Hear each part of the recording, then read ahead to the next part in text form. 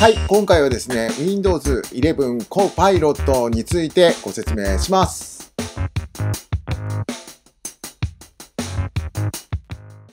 はい、えー、こんにちは、こんばんは。カーゴンです。僕の経歴こちらです。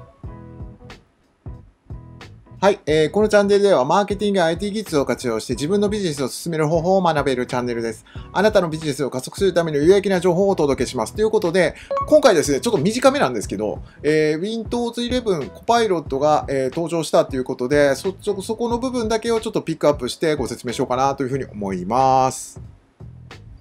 はい、目次です。はじめにっていうのと、えー Windows Copilot の概要についてっていうのと、えっ、と、Windows と AI の進化で、Windows Copilot の利用開始についてとか、まとめですね。今回、マジ短いんで、あのさらっと流して聞いてください。はい。えっ、と、はじめになんですけど、プロンプトエンジニアリングの勉強会やってます。えーご興味のある方、LINE 登録してもらえば勉強会の案内をお送りさせていただきます。えっ、と、勉強会に興味ありってメッセージ1通ください。えっ、と、その方に勉強会のご案内をお送りさせていただきます。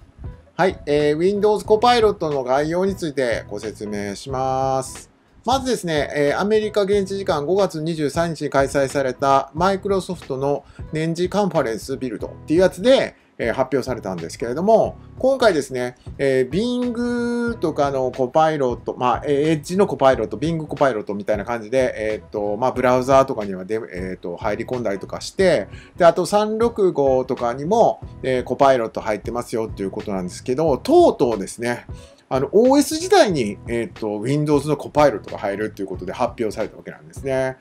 えーっと、これがですね、Windows の11への組み込みっていうところが予定されてるみたいです。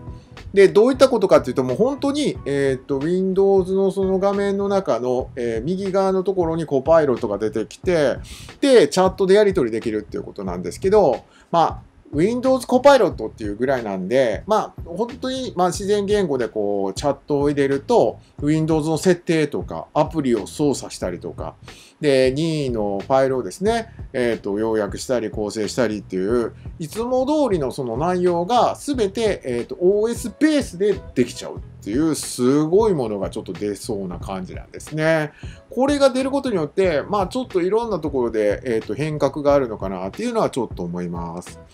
ということで、えー Windows と AI の進化についてもなんか歌ってたんで、その辺もご説明します。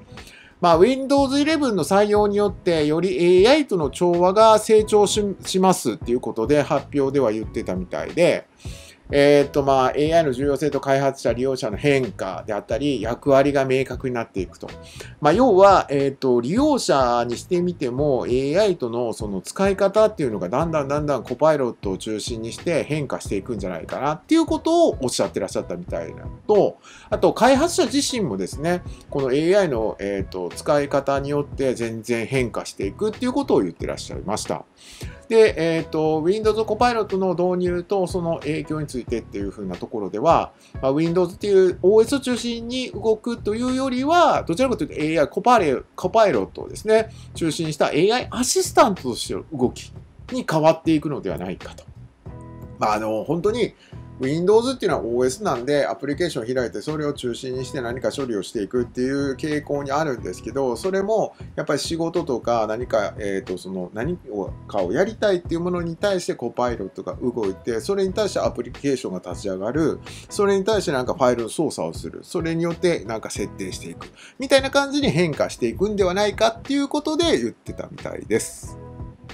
はい。で、ではですね、Windows のコパイロット利用開始についてなんですけれども、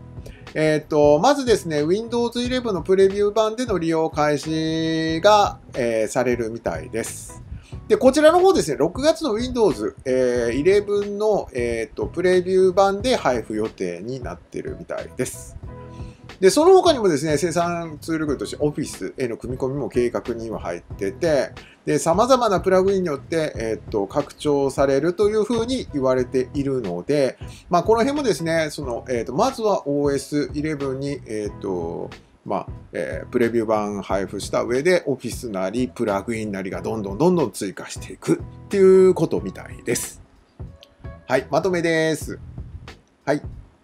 えー、っと、まずですね、今回の Windows Copilot 出現によって、Windows と AI の可能性っていうところがだいぶ取り出されてるみたいなんですけど、やっぱりこう OS に入ってくるとまた話が変わってくると思ってて、やっぱりこう AI 自体もその使い方っていうことがちょっと本当にアシスタント、コパイロットっていうぐらいなんで、そのパートナー的な動きに変わっていくのかなっていうのはちょっと思います。で、マイクロソフト自体がね、この AI についての推進をものすごいやってるんで、いや、この Windows の進化もそうですけれども、まあ、エッジの進化っていうところも将来の展望としては変わっていくんではないかなというふうに思います。で、このエッジ自体も普及率もだいぶ上がってるみたいなんで、まあこれね、面白い話なんですけども、え中国の方とかでも、なんかバイドゥを抜いて、なんかそのエッジの方がちょっと抜いてその検索のブラウザーのランキング変わったとかっていうのもちょっと噂では聞くんで、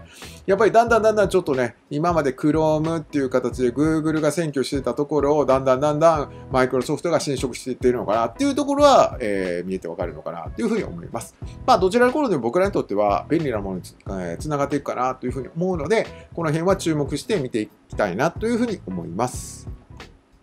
はい、えー、こんな感じで365日、えー、毎日、えー、動画の方投稿しております。皆様のビジネスを応援するような動画を作っておりますので、もしよかったらまた見てください。はい、どうもありがとうございました。